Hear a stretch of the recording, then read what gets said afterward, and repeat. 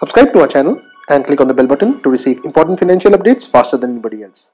Friends, welcome to another video on your channel Profit in Equities. In this video, we'll be talking about a small cap where Ramesh Damani has bought 3 lakh shares at rupees 85. The Diageo NV was the seller with 5 lakh shares sold at the same price. Now Ramesh Damani is one of the most respected names in the Indian stock market and his entry into such a small company may be worth tracking from here on. Also friends, we have recently started offering channel memberships. Please click on the blue join button below and follow the steps to become channel members. This entitles you to member only privileges on Profit Equities. Also friends, if you like the content that we produce on our channel, please don't forget to like this video, share these videos and if you have not already subscribed to our channel, please click on the red subscribe button below.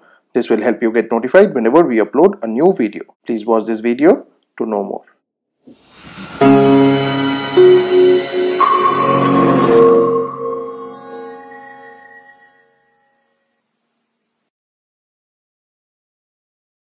Now the company in question is Goldiam International Limited which is available at rupees 91.30 and the face value for it is 10. The price at which this transaction took place is rupees 85.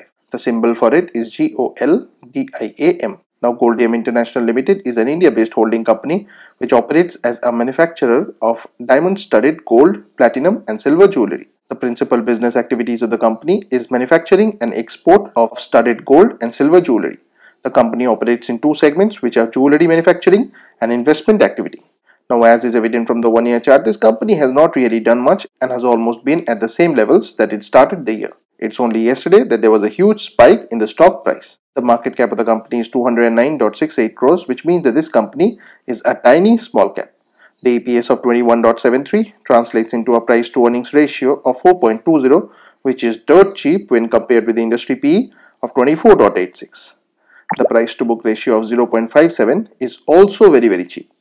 The company has a dividend yield of 1.64% whereas the promoter holding is also a very strong number and stands at 62.69%.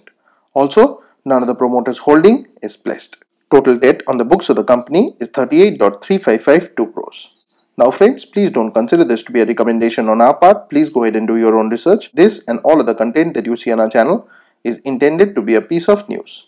Thanks for watching and if you have not already subscribed to our channel, please consider doing so.